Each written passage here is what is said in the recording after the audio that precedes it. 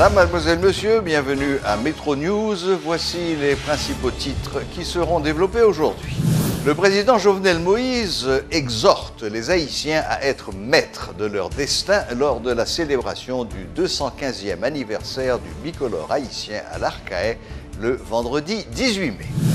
Une mission militaire mexicaine est arrivée dimanche en Haïti dans le but de renforcer la coopération militaire entre les deux pays.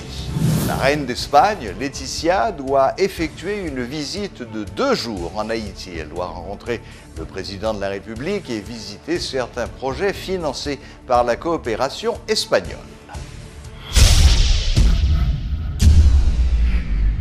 Metro News vous est apporté par Haytrack, l'esprit bâtisseur. Mobile 1, c'est plus qu'un lubrifiant. C'est le mélange parfait de plusieurs huiles qui se transforment en molécules pour vous permettre d'aller plus loin, beaucoup plus loin qu'avant. C'est l'évolution de votre moteur.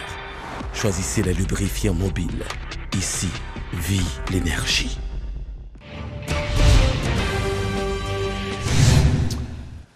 De nombreuses activités ont été organisées le 18 mai à l'Arcahaie à l'occasion de la célébration du 215e anniversaire du bicolore haïtien. Dans son discours de circonstance, le président Jovenel Moïse exhorte les Haïtiens à être maîtres de leur destin.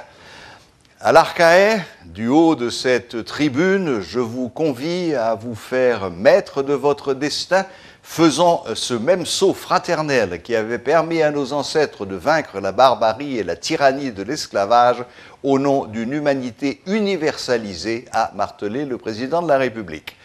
Il a fait remarquer que, je cite, Nous ne pouvons plus prendre pour prétexte les injustices des 19e et 20e siècles pour ne pas prendre en main notre destin de peuple. Fin de citation. Selon lui, Haïti ne peut pas, Haïti n'a pas le droit de cesser d'être l'exemple qu'elle a été pour des générations de combattants de la liberté partout à travers la planète. Il invite le peuple haïtien à se ressaisir. Faites cet exercice, imaginez tout ce que le mot Haïti évoque de beau, de grand, de sublime. Prenons l'engagement de mettre en valeur cette évocation, de travailler à la grandeur de notre pays, a indiqué le premier mandataire de la nation. Notons que la célébration du 215e anniversaire du bicolore haïtien a été réalisée dans la cité du drapeau sur fond de protestation. Un petit groupe de manifestants a essayé de perturber la cérémonie officielle.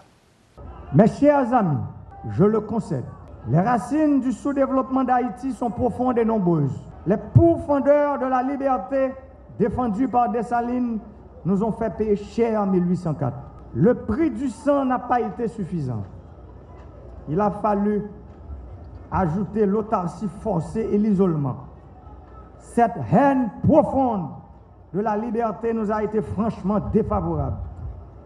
Mais aujourd'hui, nous ne pouvons plus prétexter les injustices du 19e et du 20e siècle pour ne pas prendre en main notre destin de peuple.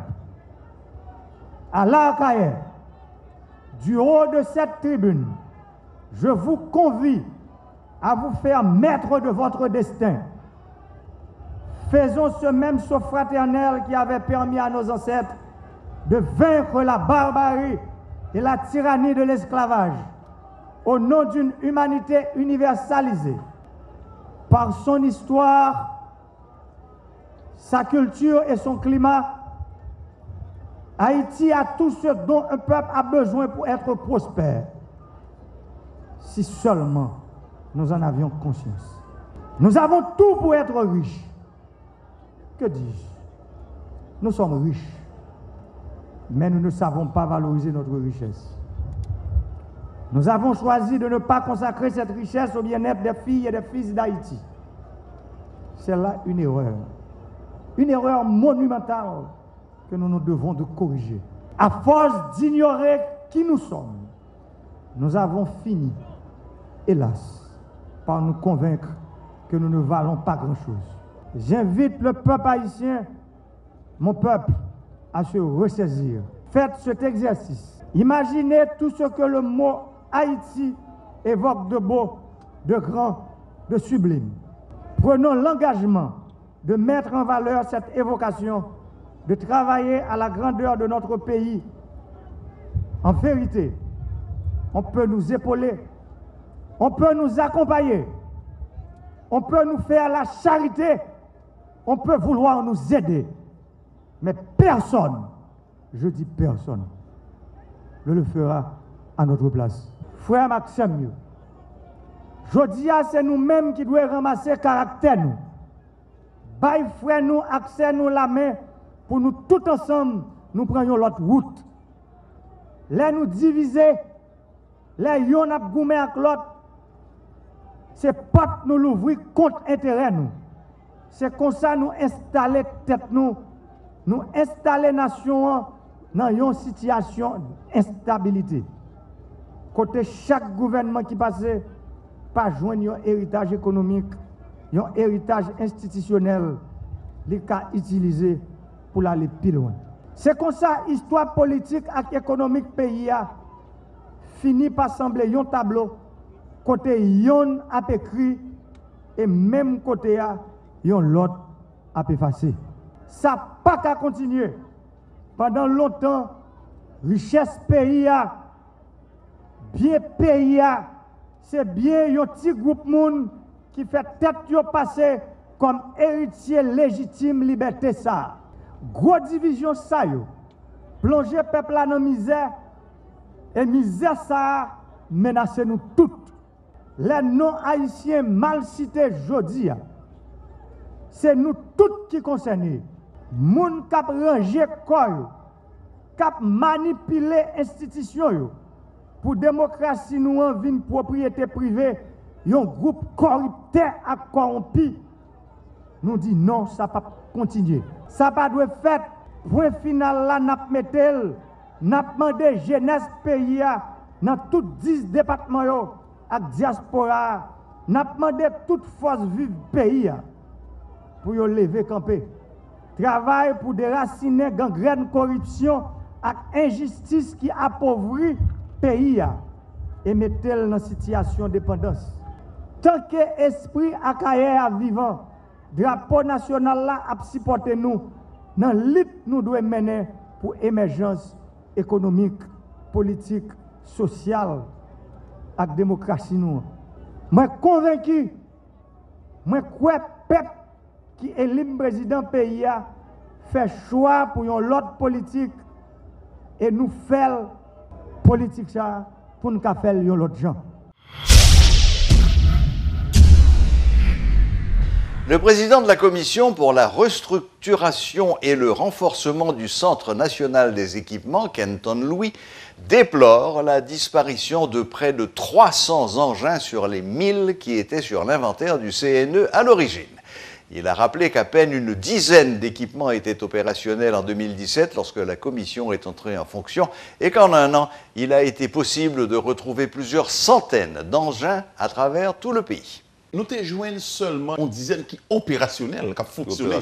Mais l'autre matériel, yo, yo, yo, paquet, ok, non pas yo, yo, yo en panne, et il y a d'autres matériels qui étaient éparpillés à travers le pays. Je dis, grâce à la commission, hein, CNE genyen environ 400 materyel ka foksyoni. Nou genyen 300 materyel ki la ki an reparasyon, ki an pan, e nou genyen de teknisyen kap travay sou yo.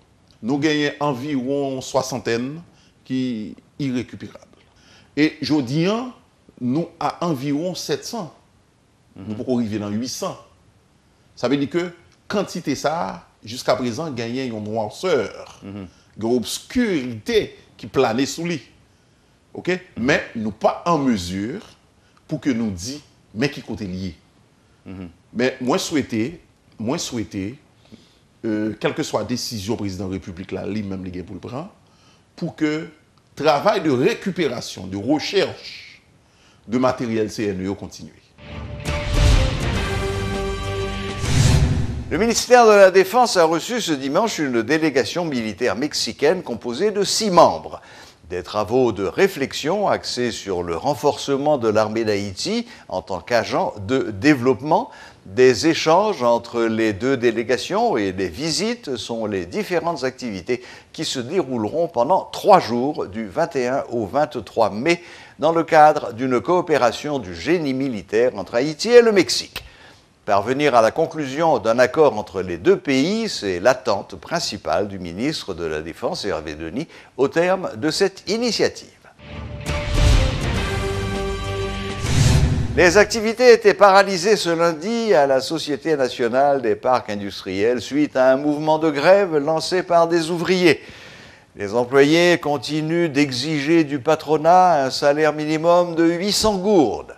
Ils appellent également au respect des engagements pris par les autorités en matière d'avantages sociaux.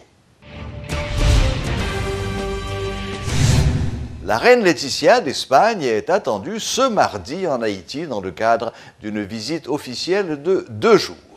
Elle sera accompagnée du secrétaire d'État espagnol à la coopération internationale et pour l'Amérique latine et les Caraïbes, Fernando García Casas.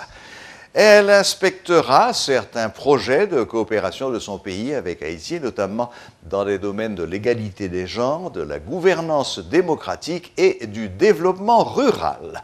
La reine Laetitia rencontrera aussi le président Jovenel Moïse et son épouse et visitera entre autres des centres d'accueil et de soins destinés aux plus vulnérables.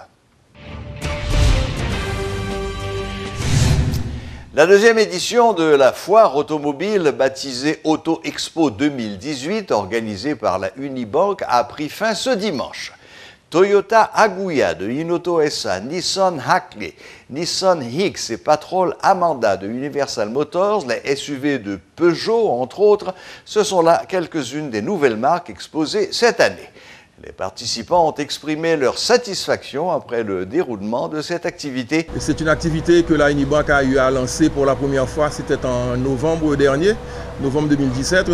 La Unibank avait pensé qu'au-delà d'être une institution financière qui fait des affaires sur le marché, que le marché de l'automobile euh, pouvait l'intéresser. Donc c'est ainsi que la Unibank a pensé à organiser cette grande foire et qui s'est présentée comme étant la plus grande foire de l'automobile en Haïti. Elle s'est associée aux 11 concessionnaires de véhicules qui euh, évoluent sur le marché pour pouvoir offrir au public cette première édition Auto Expo qui a eu lieu en novembre dernier. Et comme il n'y a jamais un sans deux, la avait pensé qu'à la veille de la fête des mères, qui est une époque où généralement les maris, les enfants euh, euh, profitent pour pouvoir gâter les mamans, on avait pensé qu'il était opportun, compte tenu de la demande répétée du public, d'offrir cette deuxième édition, vendredi 18 mai, a débuté la deuxième édition de Auto Expo. C'est 11 concessionnaires de véhicules qui sont présents. C'est la plus grande offre de véhicules qui ait, jamais existé sur le marché. Quand, quand vous imaginez que les 11 concessionnaires qui représentent des dizaines et des dizaines de marques de véhicules, ils sont tous présents.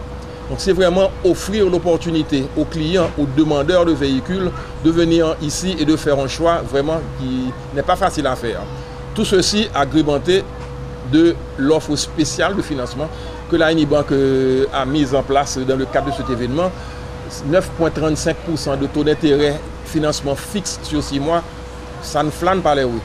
Euh, avec un taux pareil, avec des conditions pareilles, taux fixe sur 6 mois, la Bank permet à un acheteur, de pouvoir se faire financer en gourde pour un bien qu'il acquiert, mais qui est un bien qui est acquis en dollars, et la banque le met, euh, la banque le protège en ce sens que, quelle que soit la dévaluation qu'il y aurait par rapport de la gourde par rapport au dollar sur les 60 prochains jours, sur les 60 prochains mois, je m'excuse, ce client, il se trouve mis à l'abri parce qu'effectivement, il sait aujourd'hui à quel taux qu'il achète et il sait à quel taux il va finir de payer dans les 60 points qui suivent.